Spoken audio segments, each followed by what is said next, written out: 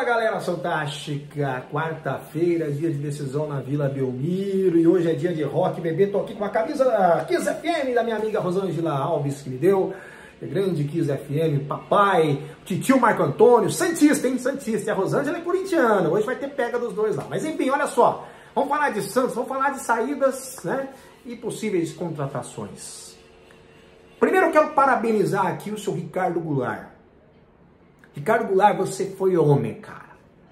Você foi, cara, você, no meu ponto de vista, você sai do Santos melhor do que você entrou. Como assim, Varalei? Mas como assim? Saiu 30 partidas, 4 jogos, algumas assistências e tal. Tecnicamente ele não entregou.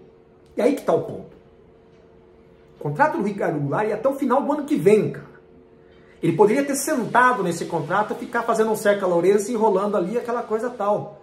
Mas, pô, ele viu, né, a situação que tá o Santos, aquela coisa tal, ele o maior salário do clube, negócio, e não tá entregando. Então ele chamou a diretoria e falou, pessoal, assim, não dá mais, não tô mais à vontade, não tá legal, não tô entregando aquilo que foi vendido. Meu amigo, isso é atitude de homem. Óbvio Ricardo Goulart fez o pé de meia dele jogando na, na, na, na China, ganhou muito dinheiro e merecido. Não tem problema nenhum em ter ganho bastante dinheiro e tal. Fica mais fácil ele tomar uma decisão desse tipo. Decisões que foram diferentes. Por exemplo, lembra do caso do Leandro Daniel? Que sentou no contrato, ficou até o final, chegou a fazer um atestado de pobreza para dizer que estava passando necessidade para receber as coisas do Santos. É, Brian Ruiz, Kleber Reis, e o Cueva. Então se você começa a comparar esses caras aí, meu, cara, Ricardo Goulart, tira o chapéu pra você, cara. Tira o chapéu pra você. Fez quatro gols no Santos, pra mim você fez dez gols, cara. Então pra mim você fez dez gols. Não, mas a, cara, não vamos discutir a contra, contratação, é, é o seguinte. Às vezes você erra na contratação, tinha muita dúvida mesmo na questão física dele, e aí o Santos errou. O Santos errou nisso. A responsabilidade é do presidente. Sempre a responsabilidade é do presidente. Por isso que eu falo, acaba com esse comitê de gestão, porque a responsabilidade é tua. Sempre vai sobrar para o presidente. Não quer saber quem faz parte do comitê de gestão. Então, assim, o Santos errou, porque o Santos avaliou mal, o cara não tinha condições físicas de atuar e ponto em alto nível. Não deu certo. Não vingou, não ornou. Saiu. Mas o melhor de tudo, ele saiu, cara. Ó, Santos, você não me deve nada, eu não te devo nada, saiu. Amizade é a mesma, beleza, e saiu mas saiu pela porta escancarada da frente. Por essa atitude. Futebol ele entregou. E por isso ele tomou essa atitude aí. Mas ó, nota 10, cara, nota 10, eu sou teu fã. Por conta disso aí eu fiquei teu fã. Mais ainda, tá? Acho que isso aí. É... O que é certo é certo, cara. O que é certo é certo.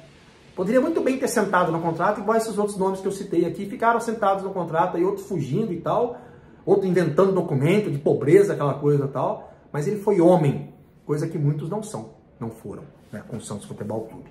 Legal, boa sorte, Ricardo Goulart. Pode ir até para Bahia, pode ir para o Cruzeiro, pode ir para outro time disputar uma Série B. Enfim, tá com o burro na sombra já, cara. Tá com o burro na sombra. E aí o Santos tem uma brecha agora, que tem um alívio financeiro aí, né? Um dos maiores salários do Santos Futebol Clube, acho que mais de 500, reais, 500 mil por mês. Então já, opa, abre a possibilidade aí.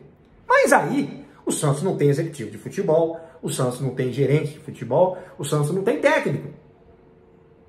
E a diretoria não consegue. Hoje vamos conversar com mais um aí, não sei o que, tá conversando, querendo no pássaro do São Paulo, contratou o Daniel Alves, largou um fumo danado pro São Paulo, rapaz.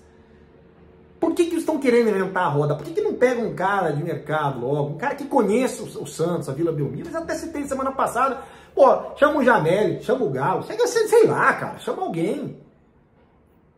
Chama os caras que conhecem a Vila Belmiro. Ah, o Leão não aceitou. Beleza, obrigado, Leão. Pelo serviço prestado. Parabéns, a amizade é a mesma também. Vai atrás de outro, caramba.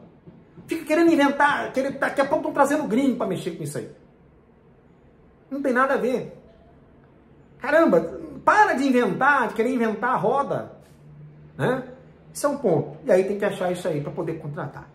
E uma outra notícia que bombou na internet hoje, na verdade foi uma informação que foi dada pela TV Cultura. Grande abraço Murilo Tauro, professor Caio Couto. Eles deram essa informação. Já foi apurada para os demais veículos, mas eles que soltaram essa informação aí. É, que é o seguinte: O empresário do Diego Pituca está no Japão. O Pituca parece que está descontente com algumas situações lá. E ele parece que não se dá com o técnico, o Kashima Antlers. E parece, existe a possibilidade do Kashima Antlers emprestar ou vender o jogador, tá? Óbvio, o Santos tem interesse no Pituca, no Diego, no Neymar, um monte de jogadores aí que passaram pelo Santos, o Santos tem interesse. Daí a virar a termo, não tem nenhuma proposta, não tem nenhuma conversa. O Santos monitora de longe. Se acontecer alguma coisa, né, Murilo? Às vezes a gente fala umas coisas e o pessoal já. Calma, gente, vamos devagar. Uma coisa é você ter interesse. O Santos tem interesse no monte de jogador. O Santos não tinha interesse no Fernandinho? Fechou com o Atlético. O Santos não tem interesse no Neymar? Esses dias aí não iam conversar com o pai do Neymar? O Neymar tá chegando mais cedo nos treinos lá.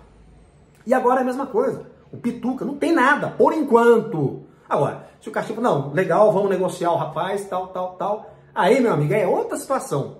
Aí entra a questão de grana. Ah, vamos negociar, mas aí o Kashima vai querer pagar salário? Não, o Santos vai ter que pagar. O Santos tem essa bala? Sei, acho vai ter. Dá para negociar? O jogador quer vir para o Santos? Isso é um, um, passo enorme. Se o jogador quiser vir para o Santos, ele abre mão de alguma coisa. Não é? Mas por enquanto não tem nada. Então, calma, gente. Vamos com calma. Se viesse, se tiver uma proposta e ele vir aceitar e voltar para o Santos, acho que seria muito bom, cara. Ele e o Fernandes ali, a gente já resolveu o problema da meiuca ali, hein? Mas vamos aguardar, vamos aguardar e torcer para que isso dê certo mesmo. Tá bom? Ó, só lembrando, hein? Sábado tem campeonato uh, categorias de base na Santos TV. Fiquem ligadinhos aqui, a gente vai divulgar os horários essa semana aqui para você, que você possa acompanhar aí o Santos Futebol. Pra cima dele, Santos! Parabéns, Ricardo Goulart, mais uma vez. E o Pituca, se vier mesmo, se pintar uma proposta, uma negociação, que seja muito bem-vindo. Para cima dele, Santos. Vamos que vamos. Tchau, tchau.